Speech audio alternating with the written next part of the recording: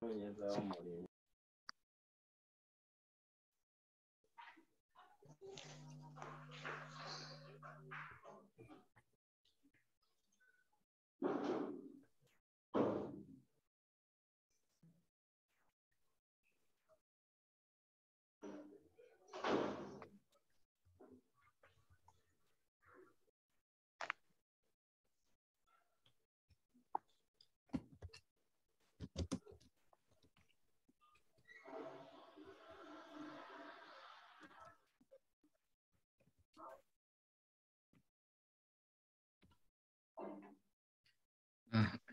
How are you? Uh, welcome back. Let's continue from where we stopped. Uh, I've discussed uh, simple group accounts consolidation. Okay. Um, so the, the tricks usually that come there is usually at uh, how you compute uh, the percentage to determine whether you have control or not. And for that, at least I've covered because that's the hardest part. They give you the number of shares, then you're supposed to determine the percentage. Then uh, on a normal day, I'll give you the percentage. They'll tell you straight that you acquired 40, 70%.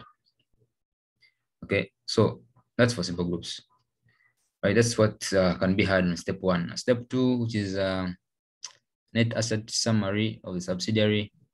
Uh, usually they bring in things like the fair value of uh, net assets was in excess by maybe 10,000 or 2,000. Now, if that's the case, that's where the trick comes in. Now, if it is, um, if the asset you're referring to is land, then it also becomes fairly easy. Because for the land you're interested in the fair value, I can explain that as I show you what you would have done. Some screenshots of statement of financial position. All right. Um,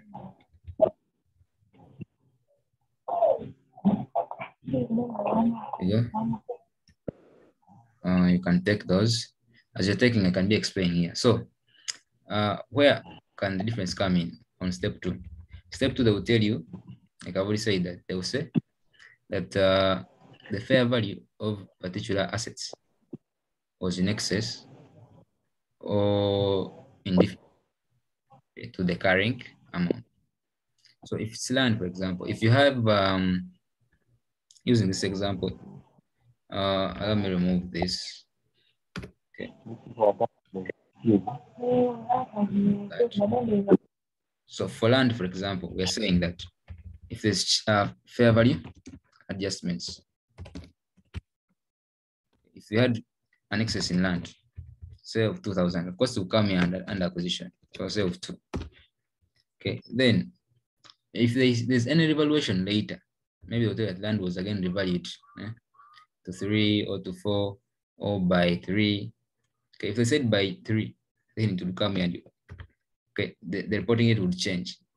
But where they're selling after revaluing, then the reporting balance will be two still here.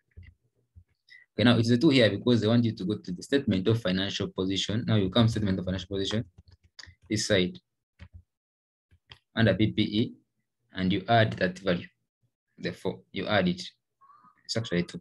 You add the two on this, you say plus two. All right, and you'll be done with that part. Now, assuming it was land, I mean building, which depreciates, how would go, how would we go about it? Okay. Assuming it was building, I'm just uh, giving you scenarios here. Okay, so for building, assuming it was still two, the excess, eh? maybe before I say the excess, if it was land and maybe it decreased in value, it's a negative two rather than rather than a positive. Okay. And they were silent, they didn't tell you anything. If they're silent, the reporting balance must be the same as negative two. And I was saying it's a negative here. So when you come to your statement of financial position, you will deduct it to be minus two instead. Okay, that is if you had a deficit eh? like that. Now, assuming that uh, it's not land, it's building. Okay, building and it's and you have, uh, say, again, building. Okay, there was an excess of maybe two still. Okay, that's useful, be different. Okay, and they've said that at, at that date, maybe the remaining useful life was uh, two years. Okay, so what happens is the reporting change is not the four, but rather the carrying amount of the four. So the carrying amount of the four comprises of the cost, which is four, and its accumulated depreciation. Okay, how do you reflect that? Uh, we say that this life is is what is is um, two, and therefore we're saying our depreciation would be would have been four divided by two, giving us a two. Okay, so meaning that our carrying amount, let me let me make it a four. Useful life let it be a four so that we have similar figures. Assuming it was a four, the useful life, remaining useful life is a four. So our depreciation will be that four, this amount here, the excess, which is four, divided by the remaining useful life, which is four, and you have one eh, as your extra depreciation. Now, this depreciation, you can show it as a single line here, or single line, or you can show it in the carrying amount. So in the carrying amount will be a three here at the reporting date. So and therefore the movement, you have a movement of negative one. Right? So you have heard of uh, assets uh, being in excess and yet uh, depreciable in nature, and then you're confused about it. So this is how we go about it. You bring the excess at acquisition. Then for the reporting date, you first depreciate this excess here based on the remaining useful life. So in this case, we said our useful life, um, push this side, our remaining useful life was actually four years. Okay. So uh, assuming the period, the post-acquisition period is one year, this is how we end up having the one, and therefore our carrying amount will be the three. Okay, cost minus depreciation, which will give you a three. And so will be your movement. So how would you close up this whole thing? Now you would go to your statement of financial position. Okay, and just bring the three. Okay, what you put on the reporting, you just bring it here as a three. Okay, then the one which is the movement, this one here, okay, the negative, you'd go under group retained earnings, under group retained earnings, uh, where? Here, under group retained earnings, and you say uh, extra depreciation. Okay, it is arising due to the excess revaluation. So you bring it here, it's depreciation, so it's negative, negative one. Okay, that's how you deal with it. Then you add, of course. So that's that. Those are really uh, the best tricks I can think about under what? Under working number two. Okay, so let's go to working number three. Uh, working number three, which is the goodwill. Usually it's on really the consideration here. Okay, they talk about the cash consideration, talk about the uh, share exchange. Okay, so for share exchange, share exchange, I can talk about it briefly. Share exchange, I've heard people say if they say one to two, just say one divided by two. Okay, which I think works for some. Okay, times the number of shares acquired. Number of shares acquired. Okay. Although with me, I prefer that I put here my parent, then I have a subsidiary. Then we are looking at the ratio we're sharing, we're saying say one to two. And then saying how many shares we actually acquired in the subsidiary, say 80,000 like they were in this case. Then I'm asking how many did I give away for these shares? I don't know. Okay. Then I cross multiply. So I have 2x being equal to the 80,000. Therefore, my x end up still being the uh, 1 divided by 2 times 8,000. 8, okay. Which is the same thing other side, but personally, I prefer doing it that way.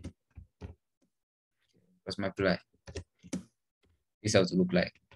So then you get the number of shares. I think yeah, there will be 40,000. Okay, now people are asking, at what value do you revalue this? What you give away is what you have actually spent on buying.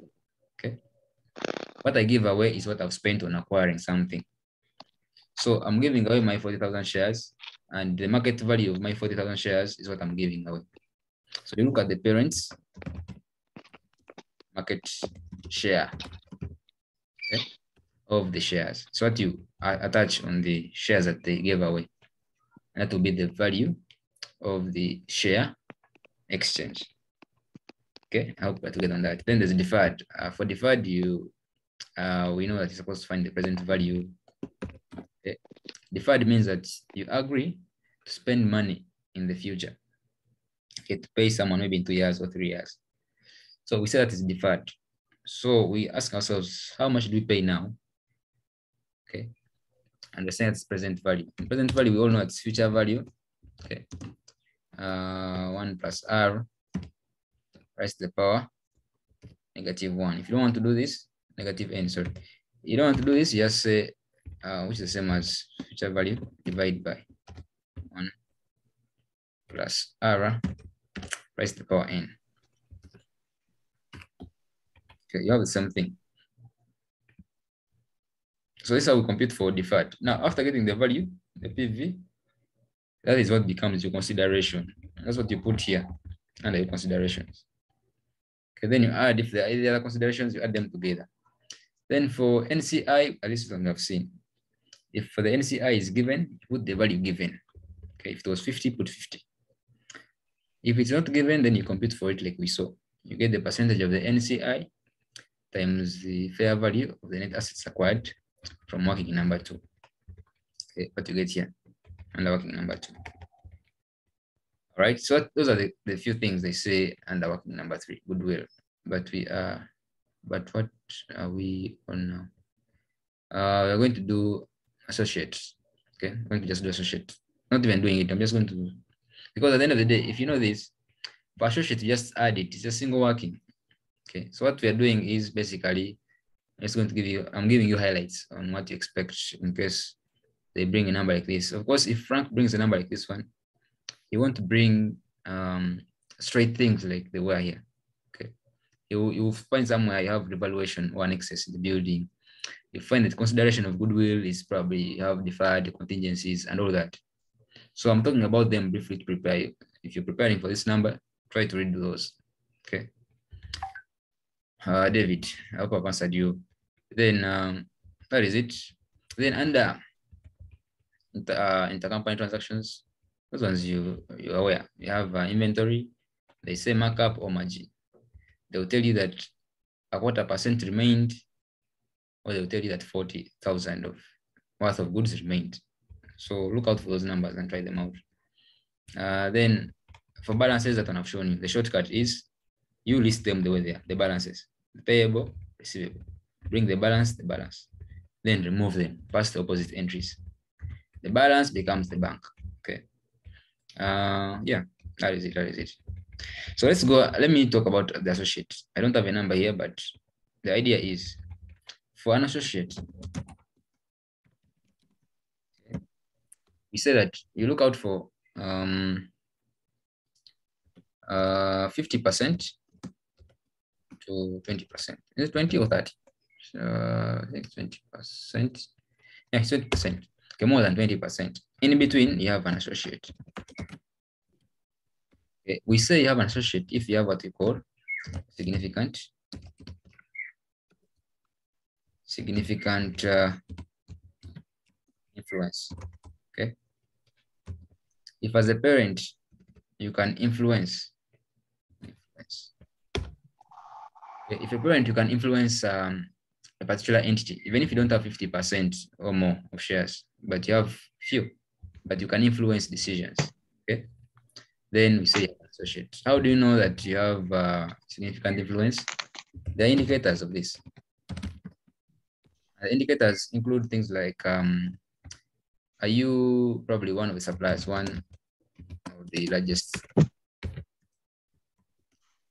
uh, suppliers or customers hmm, the entity? One of the customers, the largest customer, actually, one, the largest customer, if you're the largest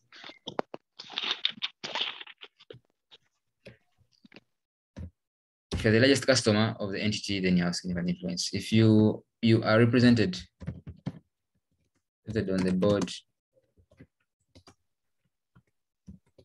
board of directors. Okay. Then you have significant influence, among others, as you read in the theory. Okay, so for associate, uh, uh, whenever they bring it, they'll bring you a group account, which is the normal subsidiary, then they bring an extra. And the extra, once you have a percentage less than 50%, then it's an associate. The treatment of this one is treatment. Okay, the treatment is, of course, for the group structure is such that you have a parent, then a subsidiary, and then you find that the associate is outside the group. Uh, associate, maybe B. Okay, so you have a group.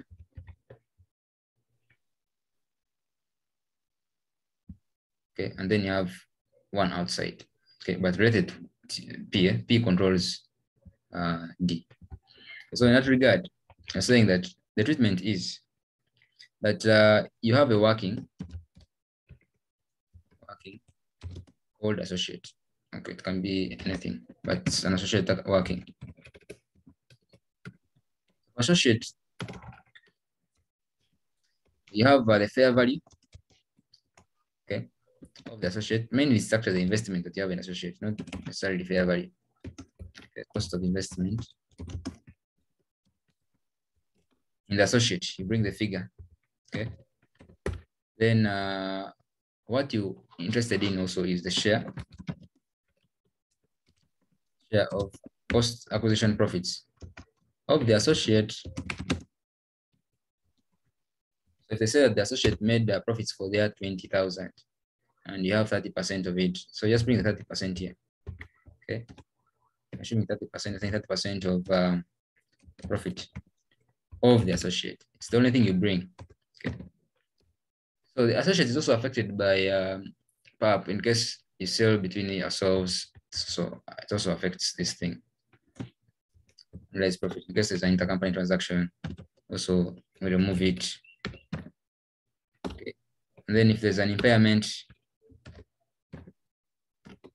okay, if there's impairment of the associate, we remove those.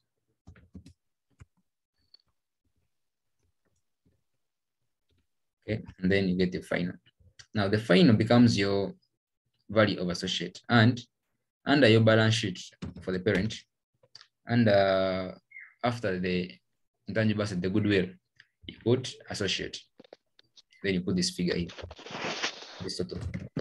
Okay. Then in your retained earnings uh, group, retained, the way it is here.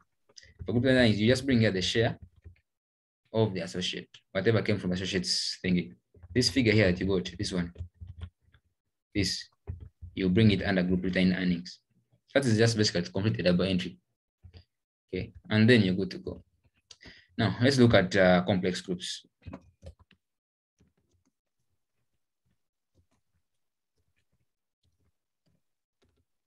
Complex groups. Um, what you know in your simple uh, groups is very important. How we compute for NCI, how we compute for group return earnings, how we compute for intercompany transactions, the goodwill, it is very important. You borrow it or you bring it here.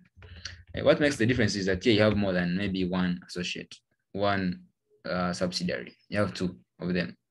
Okay, but they don't differ very significantly, I can assure you. Okay, once you know the other part, this one becomes easy. Okay, now for flex uh, complex, we have uh, vertical groups. Then you have um, the D shapes. D shaped groups. Okay. Uh, I wanted to show the contrast. Allow me to put it here. See the difference. We shall have simple groups. Simple groups. Then you have a complex. Complex is a big thing. A complex. A complex is saying have vertical. Then you have D shaped. Then under simple, we have um, subsidiary, subsidiary alone. Then sometimes you have associates. Okay, I've dealt with these two. So let's see the vertical. For the vertical, this is how it arises. You have a subsidiary. The conditions are for the vertical to arise. You're saying that uh, a parent controls, say subsidiary one. Okay. Then subsidiary one controls subsidiary two. Okay. Now, if you have a relationship like this of three individuals, okay, I have the parents S1 and S2. This is what we call a vertical group. Okay, now it arises, arises when all the conditions are met. Okay. When all these are met, that's when it arises. That uh, if S controls uh, S2 and the parent doesn't control S, there's no vertical group. But where the vertical, where the parent controls S and S controls S2, regardless who came first, that is when we begin um, having a vertical group. So a true example or illustration would be you have P here, then you have S1, then you have S2. We're saying both associates. Okay, uh, someone should mute, otherwise opening pages. Okay, so you have, uh, it must always be more than 50%, so you have 60% probably. Can you just give me a sample? Then maybe you have 70% here. Okay, this is the vertical group, that P is what? Is um, a parent of S, or controls S1. S1 controls S2. Now we have a vertical group officially. P controls S2 indirectly. Now let me give another scenario. Another scenario is you have a P. Let me just copy and paste. Okay, you have a scenario here. Okay, that P controls S maybe 70%. But S does not control S2. Doesn't control S2. Probably it is um, uh, maybe 30%. Okay. Now, this can't be a vertical group because uh, parent must have an indirect control with S2 through S1.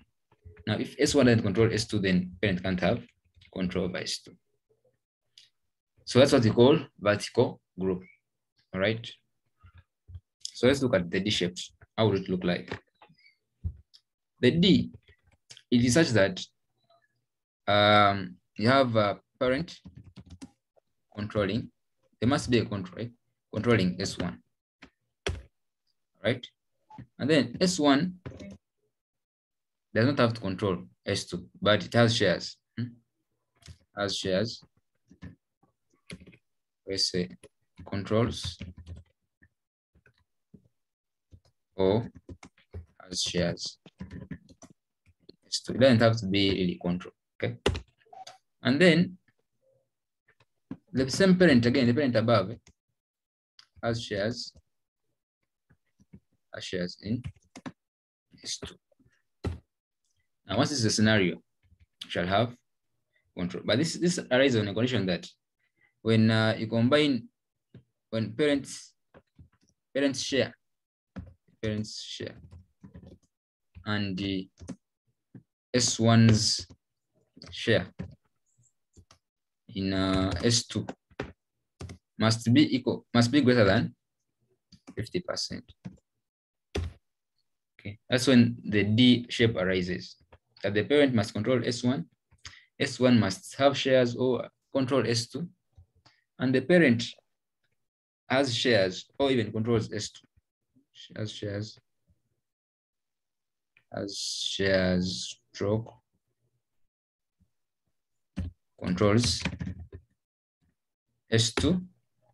Um, so where there's no control, when you add parents and this S1's thingy, it must exceed 50%. Let's illustrate that. So you're saying you have B, then you have S1, okay, and then you have uh, S2, right? So we're saying if, uh, I'm going to use lines. So saying if this guy controls, he must control. The first one must be control. So for control to arise, it must be more than 50%, assuming it's 60%. Okay, let me put this side, 60%. Okay, then S1 has shares in uh, S2. Okay, assuming it is what? It is uh, 30%. Okay, and then D, okay, I don't have a better putting this one, uh, except passing through the side up, up. So bear with me. Uh, so you have something like this.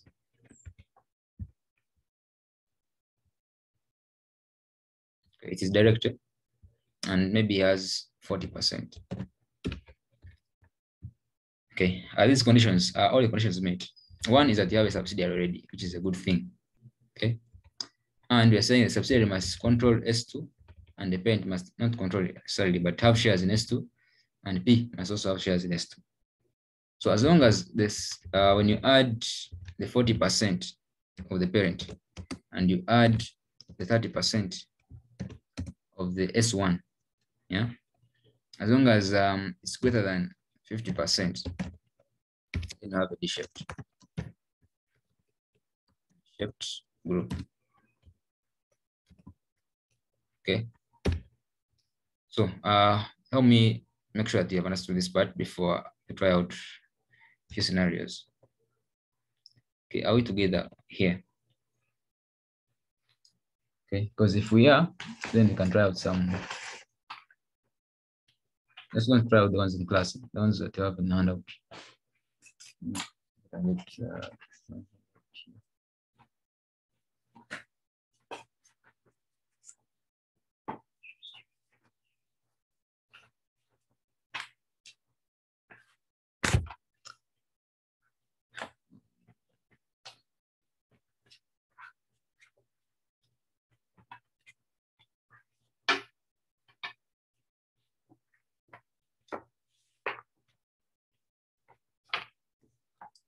Okay, if you go to page um,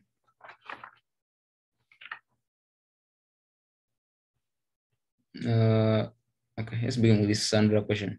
I'm not going to do the entire thing. I'm just going to show you how you get, especially the control bit, and guide you through and how you compute it.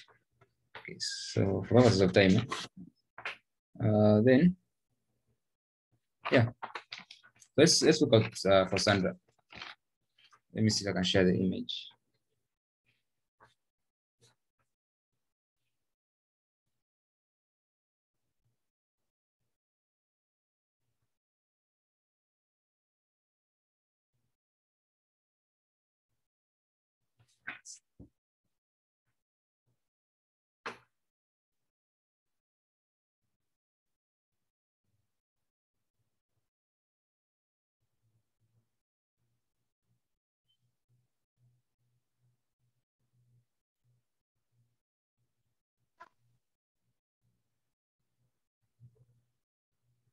So maybe as I share the image, the other thing is, uh, when do you know that you have, or when does um, the D group and the vertical group take effect? Okay, just to emphasize, because I already said it briefly. So we're saying on the date, hmm, on the date, the date when all conditions uh, start getting met, start okay, the first time, I think the first time, the first time,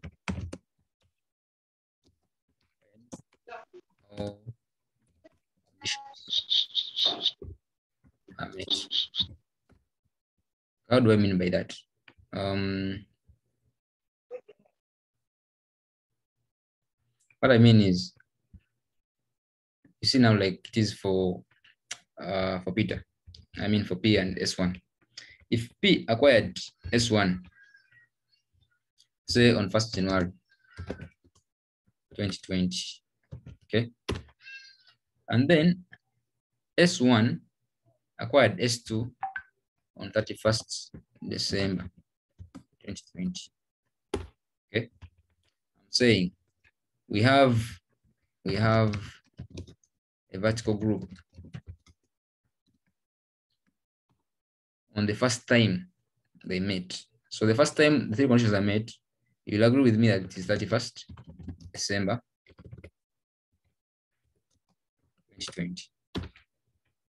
Okay, because on 1st January 2010, S1 hadn't acquired S2 yet. So there's no way you can have a vertical group at time.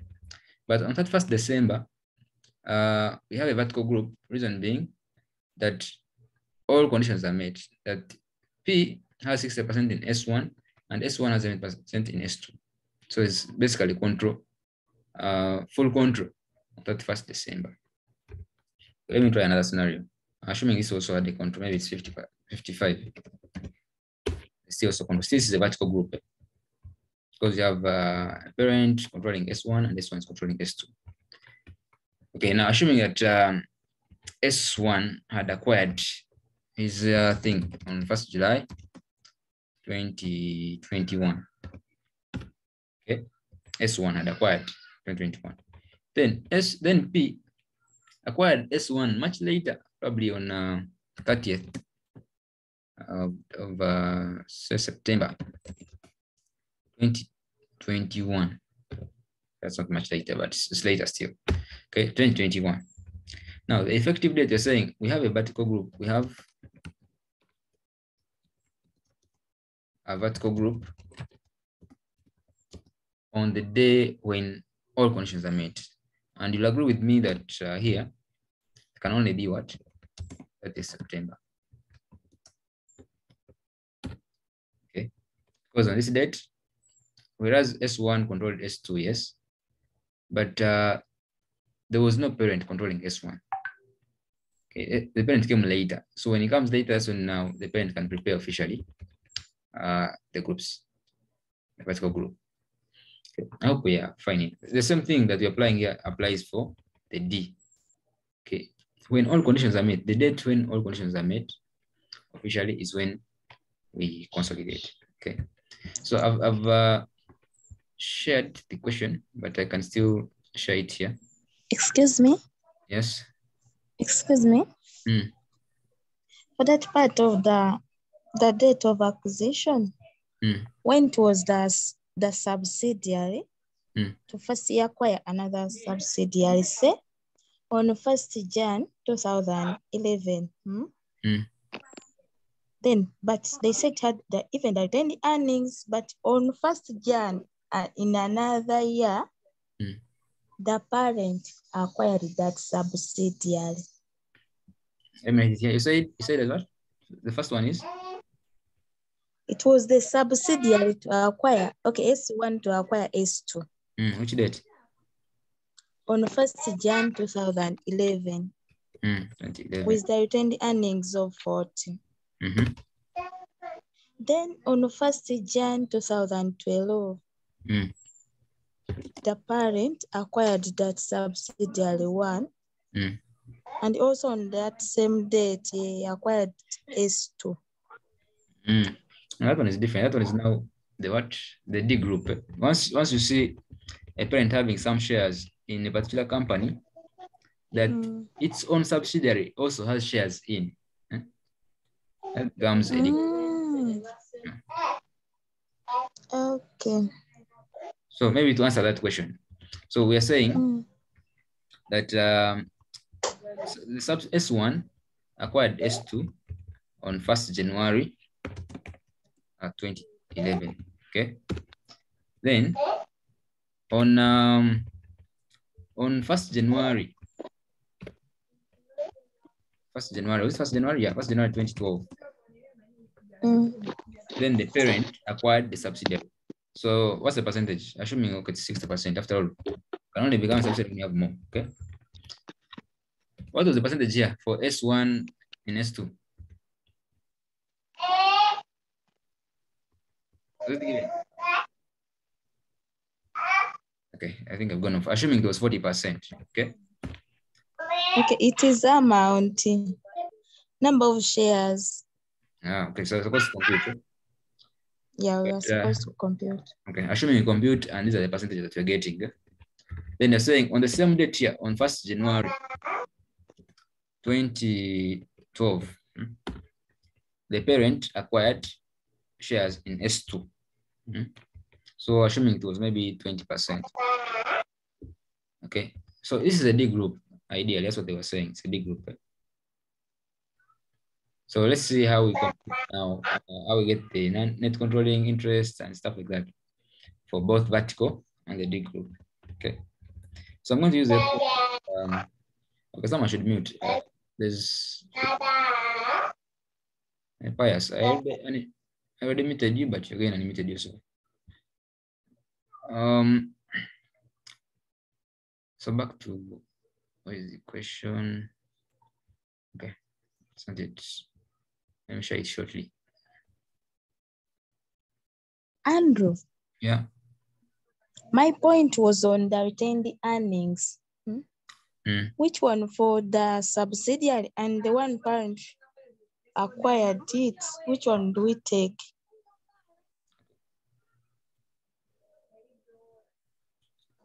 So for the retained earnings at acquisition date, you're supposed to determine the retained earnings for both the subsidiary S1 and subsidiary S2.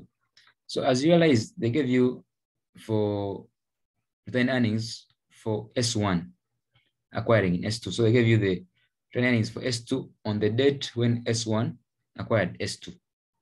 Now, that's not our problem. That's not our issue. Actually, we're not even interested, but maybe helpful in case you're given the retained earnings for the date of acquisition when the parent took over control on both. Okay, so usually you have to compute a few things. Uh, unfortunately, maybe you share with me the image. You take a picture, share with me, I discuss it here. Okay, I will just go on WhatsApp shortly in case you share. So you take a picture, share with me, I show you how you use it. But ideally, on the date when the parent acquires the asset, okay, on the date when the parent acquires the asset. It true? Alicia, kindly remove the video. Hmm? Um, I was saying on the date when the parent acquires control in both is the date you're interested in, and that's the date of acquisition. So if you're given sign earnings on that date, is what you take for both the S1 and S2. Okay, usually I want give you for S2, there's always supposed to use the one that they had before to compute for it. Okay, so you share the image, I will I will gladly help out in case you haven't understood what I've said so far. Okay, so um now there's this question of um what was it? The one of um Sandra and uh, Tiveke. Uh, let me share the image here. Okay, it's going to close shortly. So let's join shortly in a few. Otherwise, this thing is closing. But otherwise, um, for this, we're saying